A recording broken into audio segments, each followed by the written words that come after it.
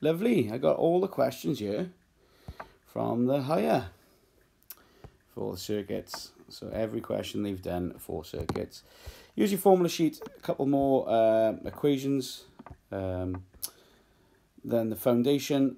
So we might be using those now. I'm going to stick that down there. And the first question, nice six mark at the start. Describe how you'd investigate the current voltage characteristics for a diode. Uh, so first thing I'm going to do is giving me a bit of space here. I'm going to draw it. So oh, that, that's a shocking battery or a cell, but hopefully yours would be a little bit neater than mine. I did this in a bit of a hurry. I've got my ammeter in series to measure the current. I've got my variable resistor there. It's going to be changing the resistance. I've got my component, which in this case is going to be a diode. It could give you one of three. It could give you a filament lamp, it could give you a diode, or it could give you a resistor.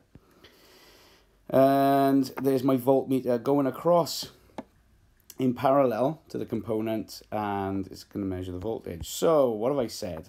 Uh, I got like six good bullet points here. Set the VR to maximum, VR meaning variable resistor. Set the maximum setting to, so it doesn't allow any voltage or current to flow. So you should have readings for zero. After the VR, um, alter, sorry, not after, alter the VR to get a chosen value for voltage. I tell you what I haven't put in there, which I keep forgetting every time. Oh no, because I'm going to come to that in a second. Yeah, so I, I say it there. So I'm going to alter the VR to get a, a chosen value for voltage. So voltage is my independent variable. I'm going to choose these settings. Um, I'm going to take the current then at every reading there that I'm going to say. So I'm going to increase incrementally in even steps. Take readings for current using an ammeter. What I should say really is the ammeter needs to be in series, but then I've put it in series anyway, so you might not lose marks for that. And then um, the important thing with a diode is that you reverse the battery to obtain a series of results for negative values. And then that's going to show you that there are no negative results for um, or values for the negative results because that's what a diode does. It just um, it's just in one direction, isn't it? Only allows current to flow in one direction. Um, and that's what I've said there. So that's pretty much your six marks um, there. And then it's uh, it's giving you some axes and it wants you to draw this and for two marks. I think that's that's, that's quite a nice two, two marks there. Um, and then we're on to another question. So that's that one. Next question. Students uh, investigating the current voltage characteristics of a filament lamp in the space below. Below, draw the circuit diagram that you would use. So another standard test circuit here. Got my ammeter on. I don't know why I put it on this side. That could be absolutely anywhere in this circuit. Same as this fella. Your variable resistor can be absolutely anywhere. For this time, it's a filament lamp and the voltmeter across it in parallel. The student collects the following results. So they're going to give you some results here. Everything looks okay, voltage, amps, no milliamps or anything like that.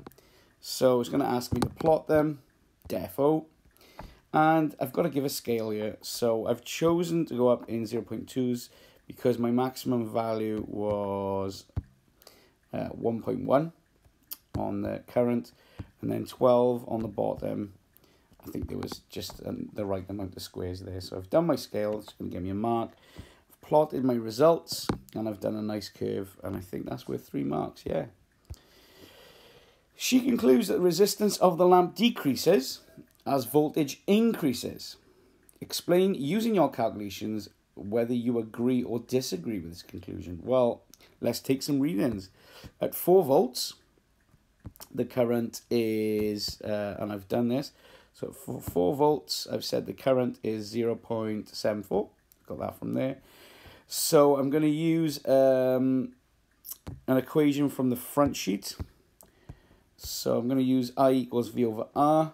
To put that in a triangle, I'm going to leave V on top and bring I down. So VIR.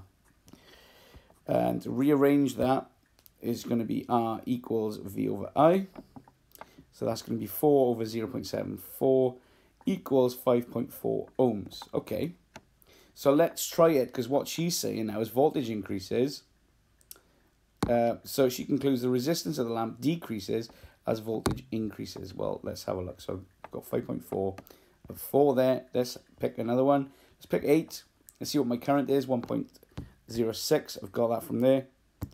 Okay, I've picked uh, 8 and I've gone to there, 0 0.1.06. And then I've calculated the how many ohms and you can see that resistance is actually increasing as voltage increases. So I've disagreed with that statement. And I've also done another one just to be sure there. And it goes up to 10.1 ohms. So it definitely increases as voltage increases. Another question here. Uh, a group of students set up the following circuit. By the way, ignore all this. I did this for fun, just because I wanted to. So ignore this by here. Um, there's my equation from the front sheet because uh, it's going to be asking me to calculate the voltage through R1. So through R1, what do we know? Well, we know that the uh, voltage is 12. Um, no, we don't know the voltage. That's the whole point. We don't know the voltage through this bit because uh, we know the voltage gets split across these two.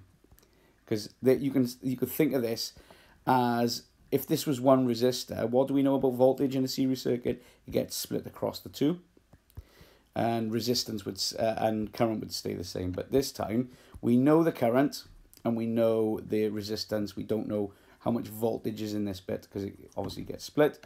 So I'm going to work it out. V equals I times R. So that's literally 2 times 2. It's going to give me 4 volts. Now, because it's a 12 volt battery, if I've got 4 volts here and it gets split, they need to add back up. So if I've got 4 here, I've got 8 here. And what do we know about voltage in a parallel circuit now? Well, voltage stays the same. So there's going to be 8 volts going across each bit here. And then, so 8 plus 4 is going to give me that 12 there. And I'm going to need that for the next question. Use your answer to part 1 to calculate the current through each of the parallel resistors. With 4 marks, there's two ways you can do this. I can do the calculation for each. So I've said there, so for R1, my voltage is 4, like I just said. So R2 plus R3 must be 8 volts. Because 12 minus 4 is 8 volts. So in each of these resistors is 12 volts, uh, 8 volts, sorry. So to calculate my current, I equals V over R, again from my equation sheet. My If my voltage is 8 and my first one I'm going to do is going to be 12. 8 over 12 is going to be 0 0.67 amps.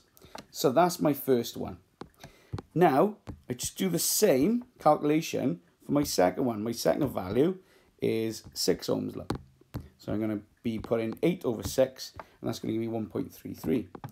And 1.33 add 0 0.67 comes to 2, 2 amps.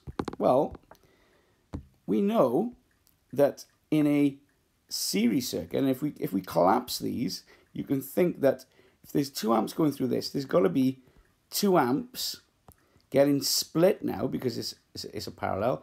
So everything from within this little box is going to add up to two because there's two amps and then it gets split and then they're going to add back up to two amps per year.